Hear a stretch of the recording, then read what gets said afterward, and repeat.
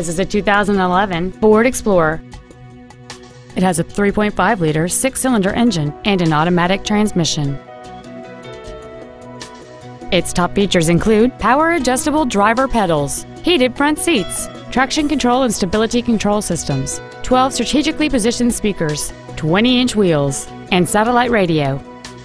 The following features are also included memory settings for the seat's positions so you can recall your favorite alignment with the push of one button, heater vents for rear seat passengers, cruise control, leather seats, a rear spoiler, a security system, roof rails, an anti lock braking system, an auto dimming rearview mirror, and this vehicle has fewer than 23,000 miles on the odometer.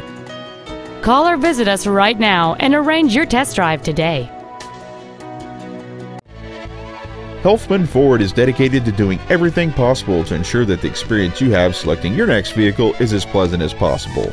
We are located at 12220 Southwest Freeway in Stafford.